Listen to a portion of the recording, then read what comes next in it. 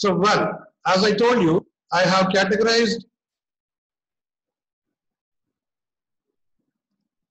as I categorize, sorry, hello, am I audible? Yes, Yes, sir. sir. Okay, okay, okay, okay, fine. There is some technical issue here.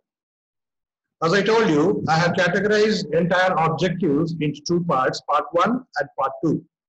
At the end of part one of the objectives of this unit, you all will be able to understand the concepts, various concepts involved and the rationale behind the design of the controlled release drug delivery systems, sustained release drug delivery systems, extended release drug delivery systems, time release drug delivery systems, and delayed release drug delivery system. Along with this, before I could start all this, I will be talking about an introduction to drug delivery system. Right? So this contents are covered under part one. And in uh, part two or part three, depending upon the number of slides and time it will consume, I may discuss about the leftover portion, that is the various factors influencing the design and performance of sustained and controlled release dosage forms.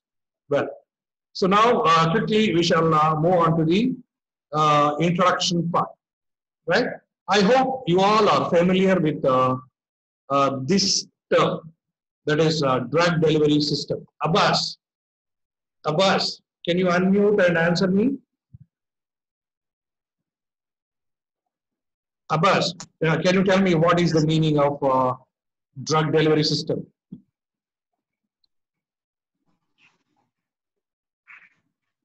No idea. Okay, Gopal Krishna.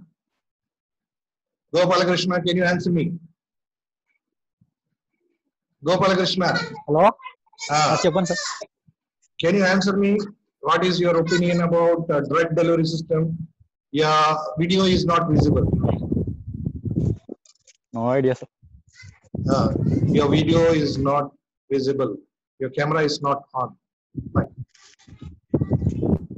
No idea. Anybody? Anybody who knows the answer? Anybody wants to say something about uh, drug delivery system? Can Sir, the drug has to deliver to the targeted site, sir. okay, drug has to deliver at the targeted site. Okay, this is one type of drug delivery system. Right. Generally, Yes, generally, if I want to say, you all know about the dosage forms, yes or not? You all studied various dosage forms, right? You all studied uh, solid dosage forms, semi-solid dosage forms, liquid dosage forms, etc., etc., etc. Right? So, if I want to discriminate the drug delivery systems from the dosage forms, right? I can say these are nothing but modified release patterned dosage forms. So in this drug delivery systems, the release pattern is modified. Release pattern is modified. Maybe slow release or maybe controlled release or maybe timed release or maybe extended release or maybe sometimes even fast release, right? If the release rate is modified, if the release rate of the active ingredient from the dosage form is modified, then you can very much say it is a drug delivery system. Right? You can put them into the category of drug delivery system. It is also delivering drug. Your conventional dosage form also delivering drug. Your conventional dosage form is delivering the drug in normal pattern. Whereas in case of drug delivery systems, the drug release pattern is modified. So, well, hope you understand what I said. Right? Raghavendra, is that clear? Raghavendra, Yes, sir. Yes, sir. Ah, can you tell me now uh, what is uh, the difference, main difference in drug delivery system? It reaches into the targeted site, sir. targeted site. That is what our colleague, our friend said. But I told something else also in addition. Did you listen to that? So I told that in drug delivery system, the drug release from the dosage form, the drug release pattern is modified. Maybe slowed down or maybe extended, right? That is slowed down. You understand, Raghavendra? Is that clear? Sir, voice breaking, sir. Hello, I said, hello, am I audible? Hello. Hello. Yes, hello.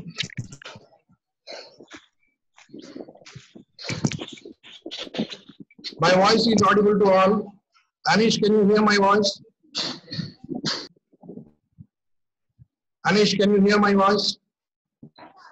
Yes, sir. Hmm, he, he's trying to escape, uh, to say, escape uh, to give the answer. Okay, fine, not a problem.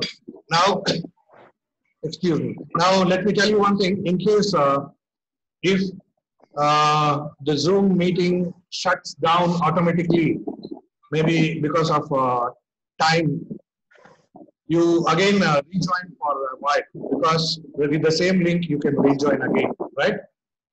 we shall continue, right? So, well, let me explain you about the introduction.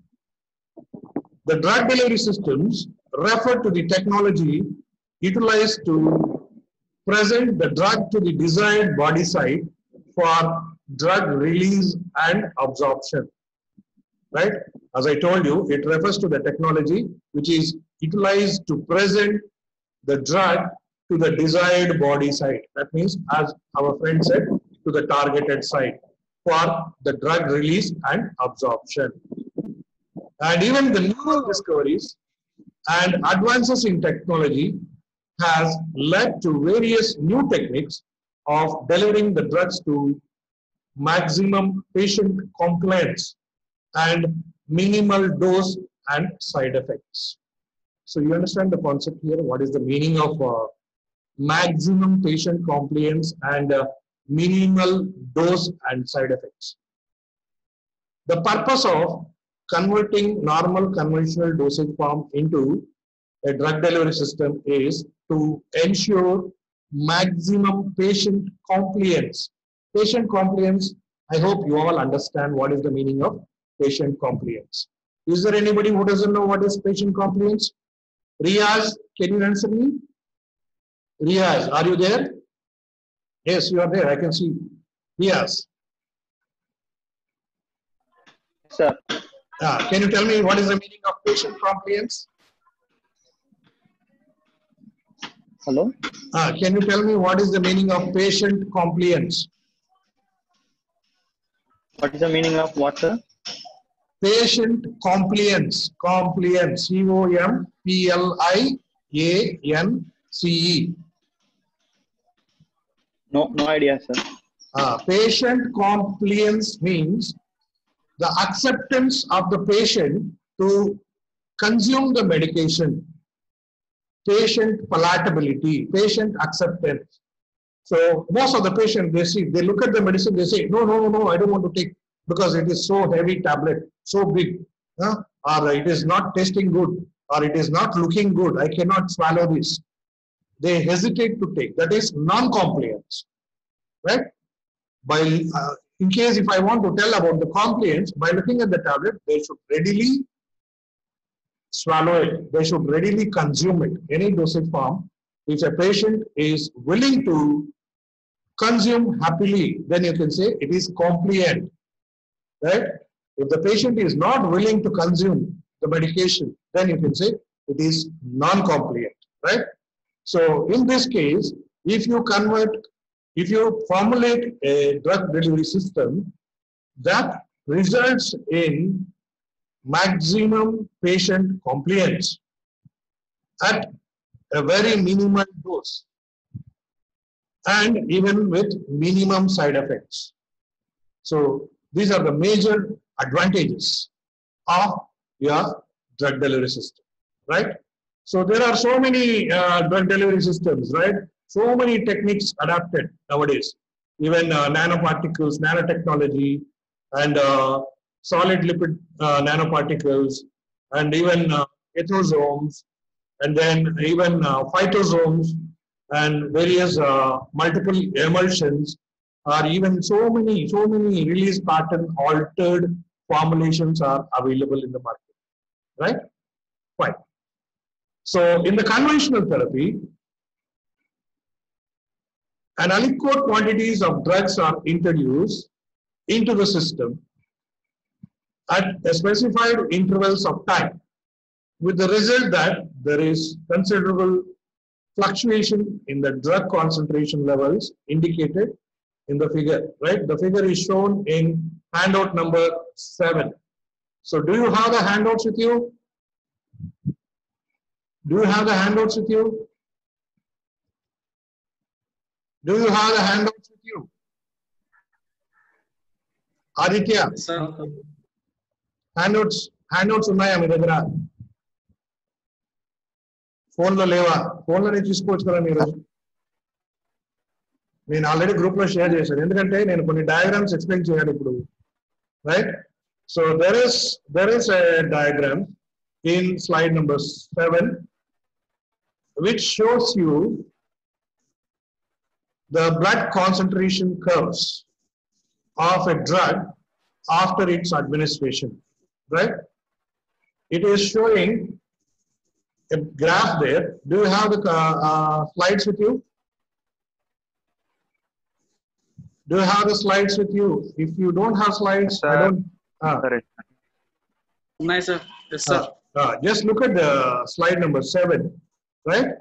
So there is a graph which which is uh, representing the blood uh, concentration levels of the drug, right?